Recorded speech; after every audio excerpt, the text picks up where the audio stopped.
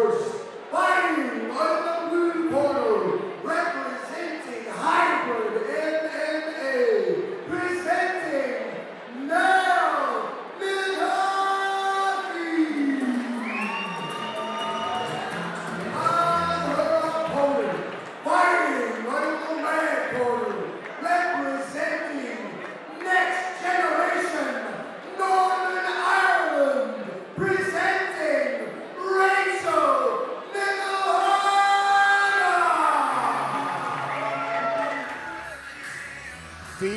Featherweight action here at the Fight Project MMA series. Rich or Mel McHaffey from Hybrid MMA in the blue corner taking on Rachel McIlhagga in the red corner representing Next Gen.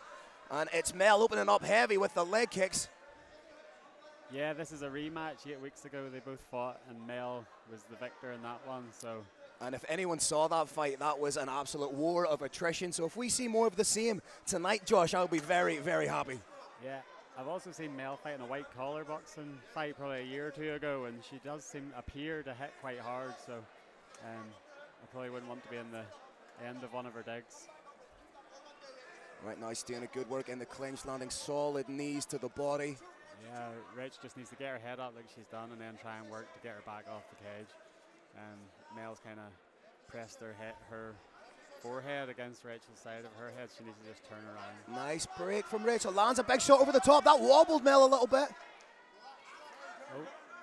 These girls are picking up right where they left off eight yeah. weeks ago. They've both hit each other with a couple of good shots. Nice stiff jab from Mel there. Needs to be careful when she's throwing that jab not to lean the head back. Yeah, you can see her hands are kind of coming down sometimes, so she needs to keep them nice and tight. Nice leg kicks from Mel there. She's doing a good job of putting those together, the hands and the leg kicks. Again, battling for the clinch. Big knee right up the middle from Rachel.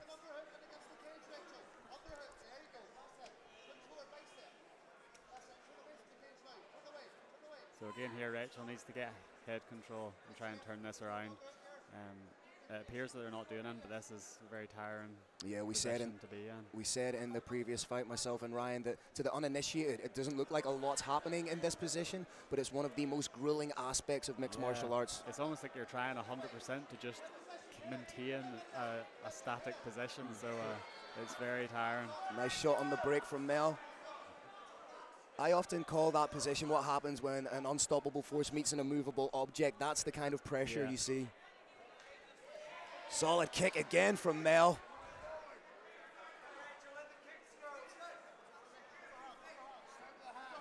Oh, beautiful, straight right down the yeah. pipe. Rachel needs to do more of them because Mel didn't like getting hit for that.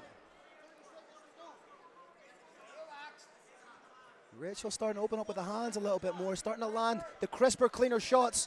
Landed yeah. a good hook there on the back foot. Yeah, Rachel's doing a good job of kind of keep it in the centre. I know Mel's pressed her up now, but she was getting a lot of success whenever she was doing the pressure. Another good knee in the clinch. 10 seconds left. Can either fighter leave a real definitive stamp on this round?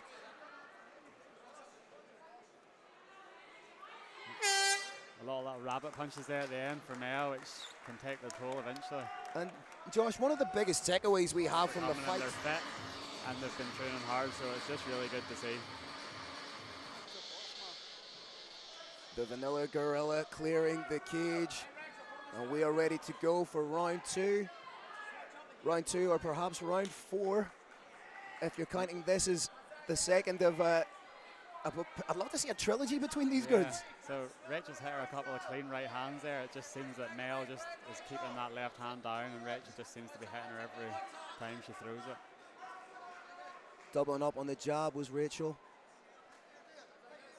Kick unchecked. Again, Rachel's not really giving Mel any time to settle now. When she's yeah. landing the shots, she's it's not just single shots she's landing now. She's putting together a greater frequency of shots. Yeah, and I think she's having more success whenever she's being the aggressor. Double underhook trip potential for Mel here. Good so defense. Again, Rachel here needs to turn into her, pull her up, get her head control.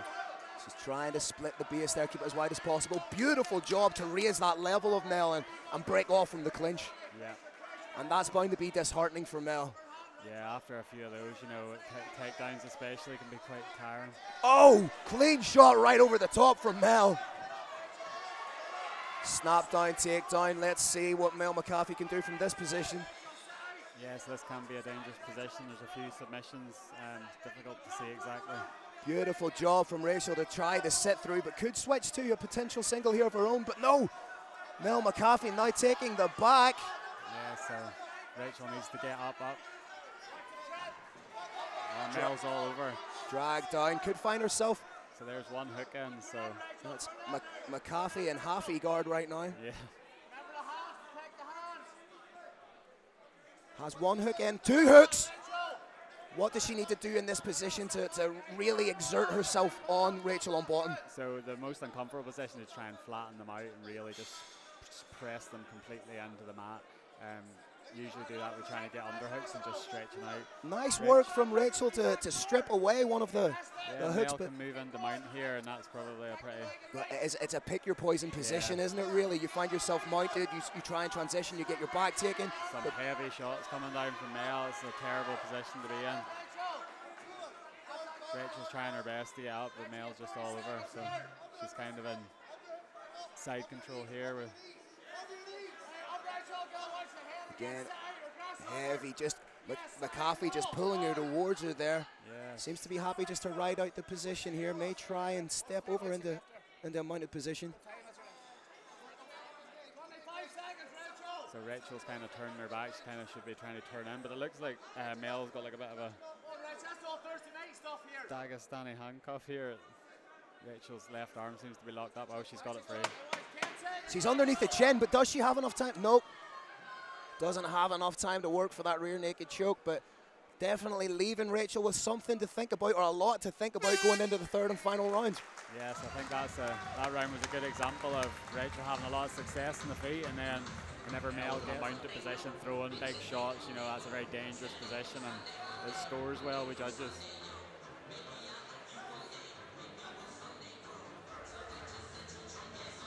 All to play for going into our third and final round of another exhilarating bout here at the Fight Project MMA series. Both girls opening up heavy. McHaffey with the clinch. Yeah, so Mel's probably wanting to try and get it back to the floor where she was before after having so much success and she's trying to weave that wee leg in to do a, a trip. As that snap down again, it's worked really well for Potential for an arm and guillotine. So far, she's just using it as a mechanism of control, but beautiful work with the hips just to switch around. And again, in that back take position that has been so successful for her. Yeah, Rachel kind of turned away and gave her back, so now it's up to Mel if she can get the hooks in. So there's one in. Rolled with it. Both hooks are in now, Josh. Yeah, so now you, you kind of want to soften them up a bit with a few strikes and then try and get that forearm underneath the neck. Um, Mel has a lot position. of time. Mel has a lot of time here with which to work. Yeah. And sometimes just even having a forearm across the face is just a yeah, that, uncomfortable position that, that face bar. I have seen people in fights tap to that face yeah. bar when it pushes the jaw and puts so much pressure Mel's on. really arching Rachel's back here. And it's probably not choking her, but it's just the sheer pain of it in the bone. And that's what can cause somebody to try and adjust, and then yeah. the arm slips down underneath yeah, the chin. Definitely. Right now, it is the hybrid MMA representative, Mel McHaffey, in the dominant position. We can't quite see from our broadcast position if she's underneath the chin, but Rachel needs to try and fight the top hand first and foremost. So now Mel's on top. And she's, she's managed to get one hook loose. So Mel needs to work to try and get this other hook in before Rachel can turn into her. Does so. Very solid groundwork on display here from Mel McHaffey.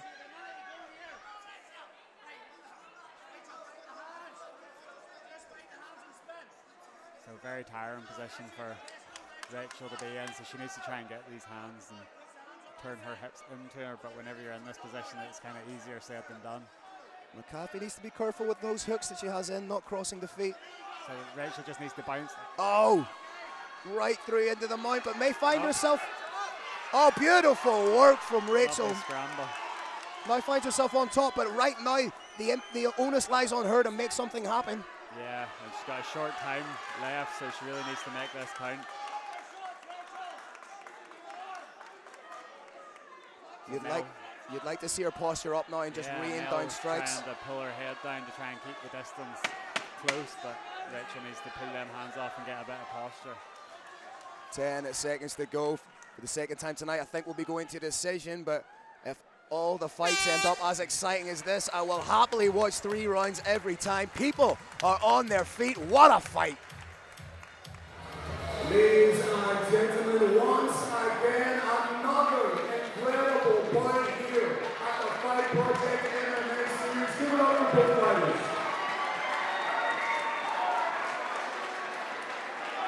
Otherwise, we the judges' scorecards. Your judges score this point 30 27, 30 27, and 29.